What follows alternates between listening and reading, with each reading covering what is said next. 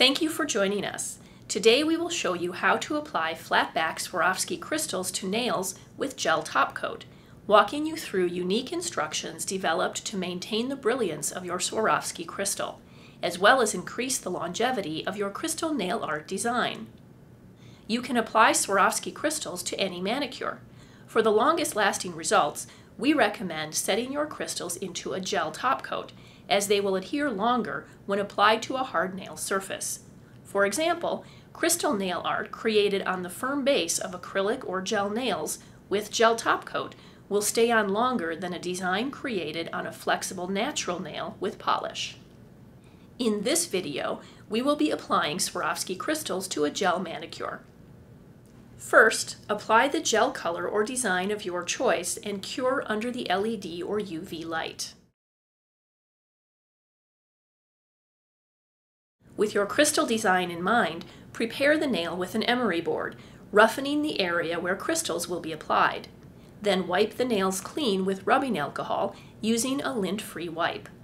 Preparing the nails this way makes a stronger bond for the top coat. Next, apply a gel top coat to the entire nail. You can arrange your Swarovski crystals directly into the gel. Here, we're using a crystal katana tool to pick up the crystals and place them in the uncured top coat.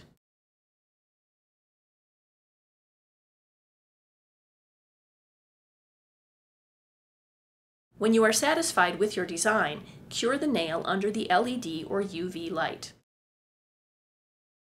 The final step ensures the longevity of your Swarovski nail design. Place a drop of gel top coat onto a non-porous surface and dip a small detailing brush into it. Use the brush to carefully apply top coat in between and around the edges of the crystals and cure a final time under the light. This creates a protective setting, similar to the prongs on a ring. Remember, do not apply gel product over the surface of your Swarovski crystal as it will diminish the sparkle. Nail techs, ask your local beauty supply store to carry Swarovski crystals from crystalsfornails.com and browse our website for more tips, nail trends, and inspiration. Thanks for watching.